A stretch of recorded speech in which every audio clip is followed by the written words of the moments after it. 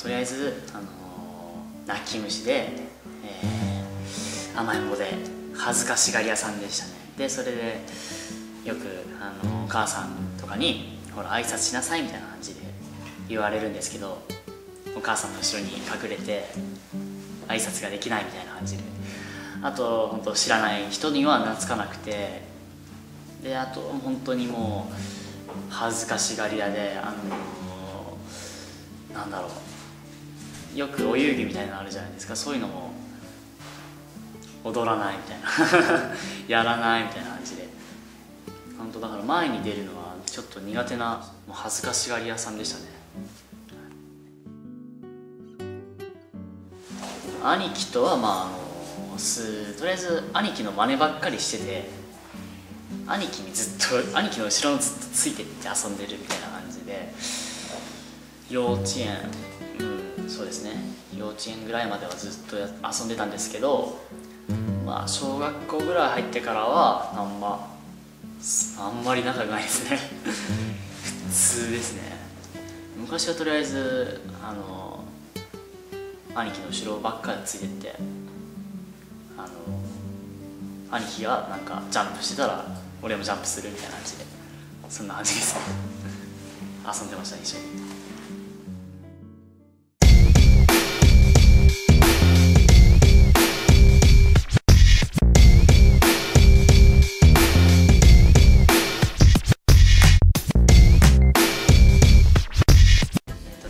最初に抱いた夢はですね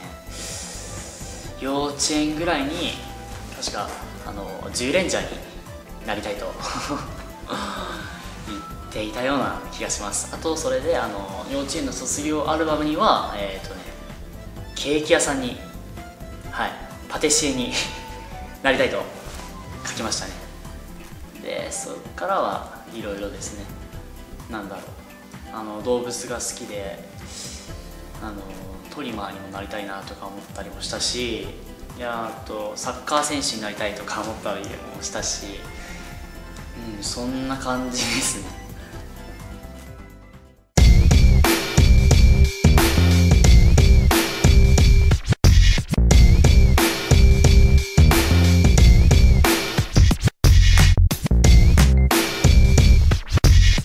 えっとですね初恋は、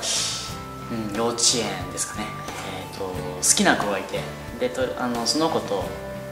その子となんだろう一緒に遊ぶのが好きで。でその子ちょっと嫌がってるんですけど無理やり手をつないで引っ張っていったりとかして帰ってましたね。そんなそうですね。あとは幼稚園の頃はなんだろうスカートめくりとかして遊んでました。はい。すいません。そんな感じです。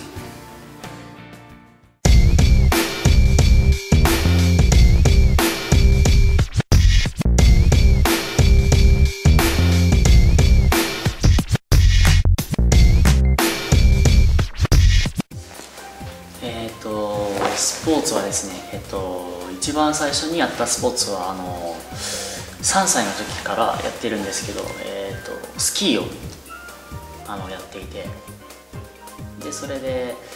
あの年には年に23回はあのゲレンデ行ってスキーやったりしてでそれでそうですね。まあまあまあ滑れます。であの高校の修学旅行でそれであのスキー検定みたいなのがあってそれでなんかねセミシルバーっていう級かなそういうのを取ったんですけどそれぐらいです。レベル的には。あとあの小学校入ってからはあのサッカーを始めて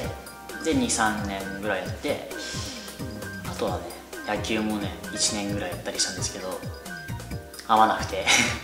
やめてしまい。で中学校入ってあの兄貴もバスケやってたんですけどそれであのなんだろう影響されたっていうよりも影響されたのかな？それでバスケ始めて、まあ、3年間やってで特技特技っていうかまあ今でも趣味で、バスケはあの友達と集まるとやるんですけどで、まあ、最近で最近はうんとねダンスかな。最近で言うと。ダンスはね高校1年から始めて今もやってます。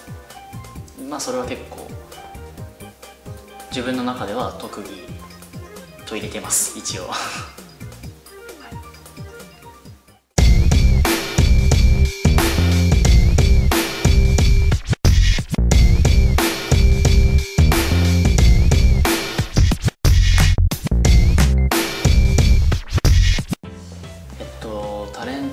したきっかけはですねえっともともと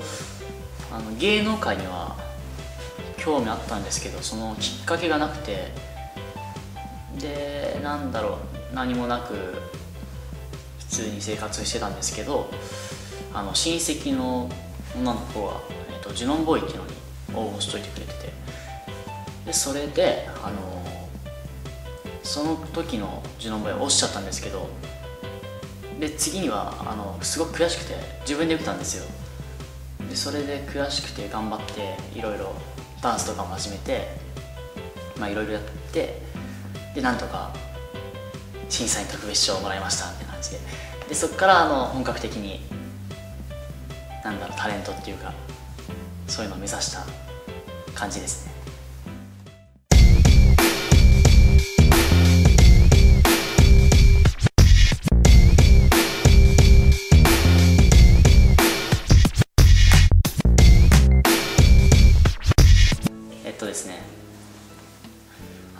そのジュノンボーイを受けるところから始まってでそれ1回落ちてで次の年に受けたんですけど、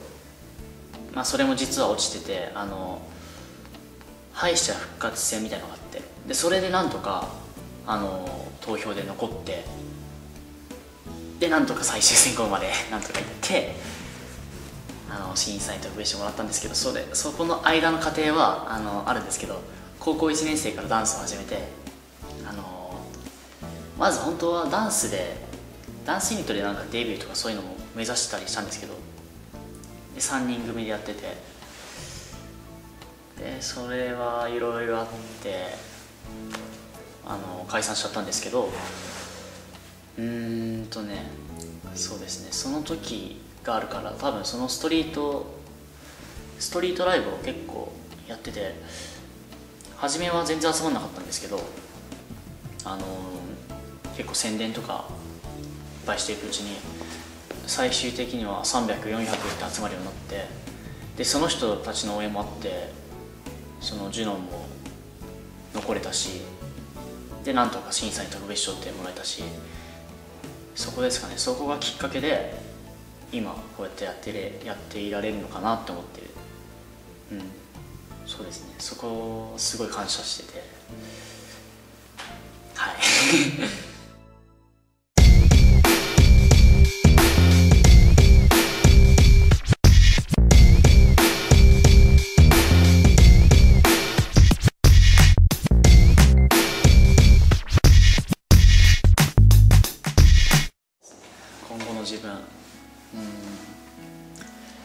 今年二十歳なんでまあ少し大人になった相葉弘樹も見せれたらいいんじゃねえのかなとは思ってるんですけども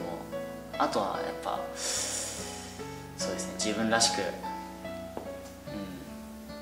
ん、頑張っていけたらいいなと思ってますね。それでやっぱ役者としてももっと成長していきたいしいろいろ吸収していきたいしだからこそいろんな経験をこれからももっと積んでいきたいし今はだからその過程ですね。うんもっとだから仕事をバンバン頑張りたいですね。今後は。えっ、ー、とまああのずっと結構長くミュージカルをやらさせてもらってまあだから本当本当にミュージカルばっかやっちゃってテレビの仕事を全然しなかったんですよ。だからこれからはテレビもできたらドラマとか CM だったりやって経験を積んでいきたいなと思ってますね。あとは映画とか本当芝居をもっと固めていきたいなって思ってます。でみんなに認められるような